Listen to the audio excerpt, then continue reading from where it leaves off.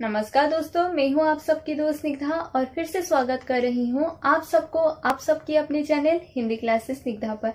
दोस्तों, आज की आलोचना की विषय हमारी है प्रमुख आलोचनात्मक कृतियाँ, जो कि आधारित है हमारे पूर्व मध्यकाल यानी कि भक्ति काल की शाखा यानी कि ज्ञानाश्रय शाखा, जिसे हम संत काव्य धारा के नाम से भी जानते हैं।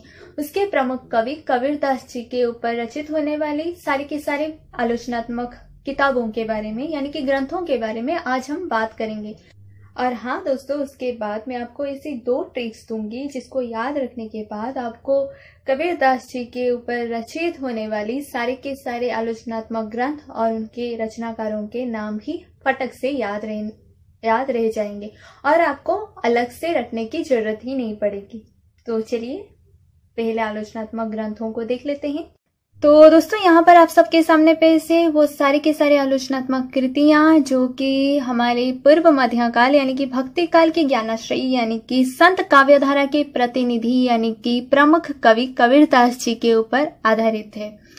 यहाँ पर दो कुलम है। एक कुलम में किताबों यानी कि ग्रंथों के नाम है जो कि लेफ़्ट साइड में है और राइट साइड में है हमारे रचनाकार के नाम। तो चलिए जानते हैं कौन कौन है कौन कौन से रचनाकार है और पुस्तक कौन कौन सी है। तो पहला है कबीर। कबीर नाम की आलोचनात्मक कृति है आचार्य हजारी प्रसाद द्विवेदी जी की। याद रखिए, कबीर के रचनाकार है आचार्य हजारी प्रसाद द्विवेदी और वही नाम कबीर, आता है विजयेंद्र स्नातक की। तो यहाँ पर जब नेम सेम होती है दोस्तों तो आपको याद रखने की थोड़ी सी मुश्किल हो जाती है पर घबराने की कोई ज़रूरत नहीं। कभी भी ऐसे क्वेश्चन नहीं आता कि सेम को सेम नेम वाले जो किताबें हैं वहाँ यहाँ पर उनके रचनाकार की जो नाम दिया जाता है एक साथ नहीं दिया जाता है। तो आपको याद रखनी है कबीर नाम की जो पुस्तक है दोनों रचनाकारों की है आ, मतलब दो पुस्तकें हैं जो कि सेम नाम, यानी कि कबीर के नाम से ही प्रकाशित हुई है और रचनाकार है आचार्य हजारी प्रसाद द्विवेदी और विजयेंद्र स्नातक। फिर आता है कबीर की विचारधारा। कबीर की विचारधारा के रचनाकार है गोविंद त्रिगुणायत। याद रखिए, कबीर कबीर नाम से दो रचनाकार है आचार्य हजारी प्रसाद द्विवेदी और विजयेंद्र स्नातक। और कबीर की विचारधारा के रचनाकार है गोविंद त्रिगुणायत। फिर नाम आता है कबीर का रहस्यवाद जिसके रचनाकार है डॉक्टर राम कुमार वर्मा। याद रखिए कबीर का रहस्यवाद के रचनाकार है डॉक्टर राम कुमार वर्मा। फिर आता है कबीर दर्शन जिसके रचनाकार है रामजी लाल। याद रखिए कबीर का रहस्यवाद के रचनाकार है डॉक्टर राम कुमार वर्मा कबीर दर्शन रामजी लाल। कबीर सा, कबीर साहित्य की परख जिसके रचनाकार है परशुराम चतुर्वेदी। कबीर अकेला इसके रचनाकार है डॉक्टर रमेश चंद्र मिश्र कबीर, एक नई दृष्टि जिसके रचनाकार है डॉक्टर रघुवंश। मैं और एक बात आपको बोल देती हूँ दोस्तों, याद रखिए, कबीर।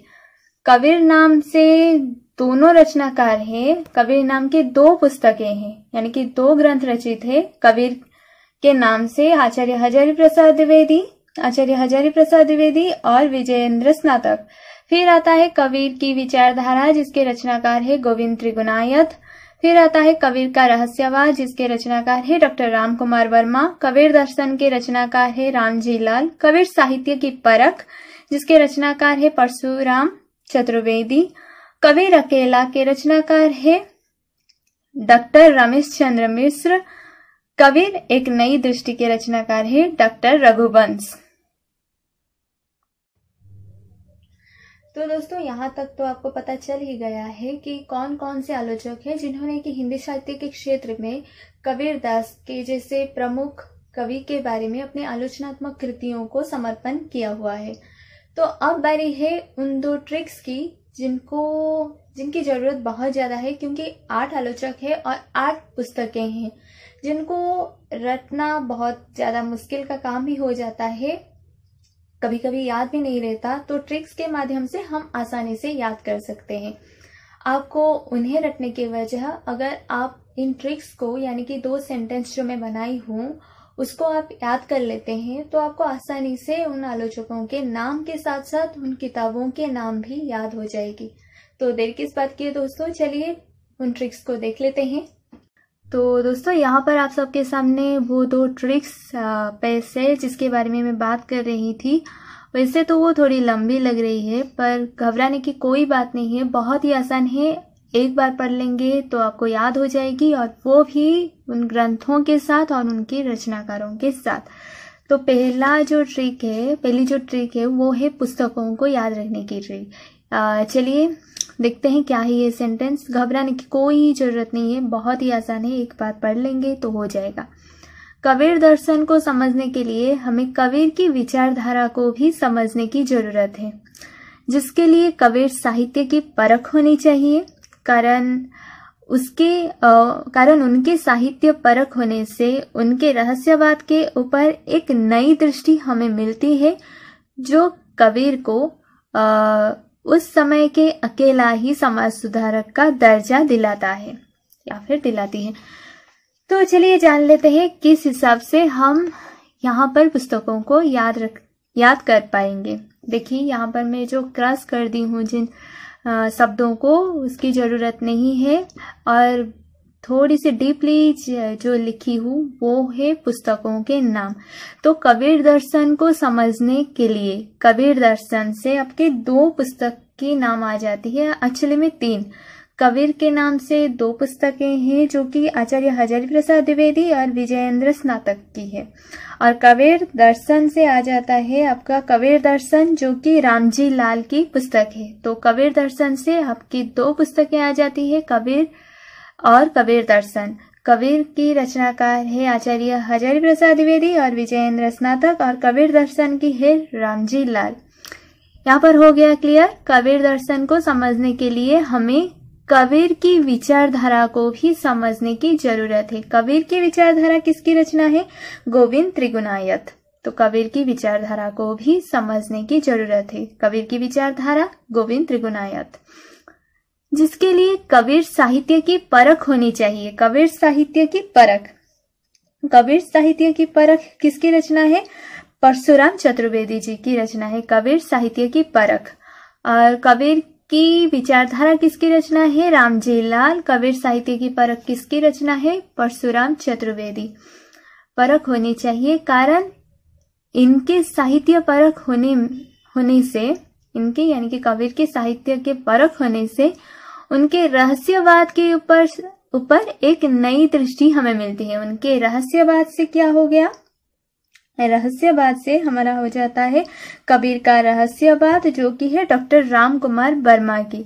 रहस्यवाद के ऊपर एक नई दृष्टि नई दृष्टि से आ जाता है कबीर। एक नई दृष्टि जो कि डॉक्टर रघुवंश की रचना है। क, उनके रहस्यवाद रहस्यवाद कबीर के रहस्यवाद किसकी रचना है? राम कबीर के रहस्यवाद किसकी रचना है? डॉक्टर राम कुमार वर्मा और कबीर एक नई दृष्टि, डॉक्टर रघुवंश की रचना है। हमें मिलती है जो कबीर को उस समय में अकेला ही समाज सुधारक का दर्जा दिलाता है। अकेला से क्या हो जाएगा? अकेला से कबीर अकेला, जो कि किसकी रचना है? डॉक्टर रमेश चंद्र मिश्र जी की रचना है। ये हो गया हमें हमारे पुस्तकों को याद रखने की ट्रिक अब हम बात करेंगे रचनाकारों को किस हिसाब से याद करेंगे। तो दोस्तों, यहाँ पर आप सबके सामने पेश है वो सेकेंड ट्रिक जिसको याद करने से आपको रचनाकारों यानी कि आलोचकों के नाम याद हो जाएगी। तो यहाँ पर भी सेम रूल है, जहाँ पर जिन शब्दों के ऊपर क्रस लगा हुआ है दोस्तों, वो आपके काम की नहीं है। सिर्फ़ सेंटेंस बनाने के लिए उनको मैंने जोड़ा हुआ है यहाँ पर, और जिसको मैं डीपली लिखी हूँ, वो है रचनाकार के नाम, यानी कि वहाँ पर ही छुपा हुआ है हमारे रचनाकारों, यानी कि आलोचकों के नाम। तो पहले सेंटेंस को पढ़ लेते हैं। शक्ति की प्रसाद में रावण से विजय प्राप्त करने के बाद रघुवंश के नंदन राम जी, जिन्हें की स्वयं गोविंद और परशुराम के अवतार माना जाता है, उनकी विजय गाथा गाँव के मंदिर में पंडित रमेश चंद्र मिश्र सुना रहे हैं। तो चलिए जानते हैं किस हिसाब से यहाँ पर आलोचक यानी कि रचनाकार के नाम छुपा हुआ है। तो शक्ति की प्रसाद में, प्रसाद से आ जाएँगे हमारे हजारी प्रसाद द्विवेदी प्रसाद में सव, रावण से विजय प्राप्त करने के बाद विजय से आ जाएँगे विजयेंद्र स्नातक हजारी प्रसाद द्विवेदी और विजयेंद्र स्नातक दोनों की किताब जो है वो है कबीर।